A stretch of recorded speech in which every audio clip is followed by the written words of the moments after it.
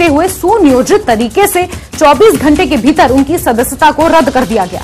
विपक्ष मज़बूत हो तो लोकतंत्र मज़बूत होता है, ये सीएम सुखू का बयान है, जिस तरीके से राहुल गांधी की लोकसभा की सदस्यता को रद्द कर दिया गया है, उसके बाद से ही कांग्रेस लगातार इसको लेकर विरोध जता रही है। लोकतंत्र का गला घोटने जैसे शब्दों का इस्तेमाल किया जा रहा है और एक बार फिर सीएम सुखू ने इस पूरे मुद्दे पर बयान दिया। उन्होंने कहा है कि राहुल गांधी की बढ़ती लोकप्रियता जो उन्हें भारत जोड़ो यात्रा के दौरान हासिल हुई है, उससे भाजपा घबरा गई है।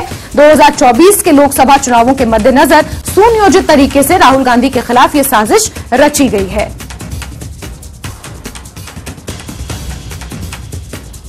राहुल गांधी जी ने कन्याकुमारी से लेकर कश्मीर तक की अपनी लोकतंत्र को मज़बूत कर, जो करने के लिए अपनी यात्रा शुरू की और भारत जोड़ो नाम दिया। ये नाम क्यों दिया गया?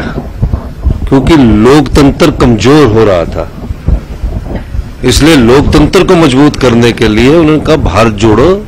एक अभियान के नाते उसको आगे बढ़ाया गया। तो 2024 में लोकसभा का चुनाव है।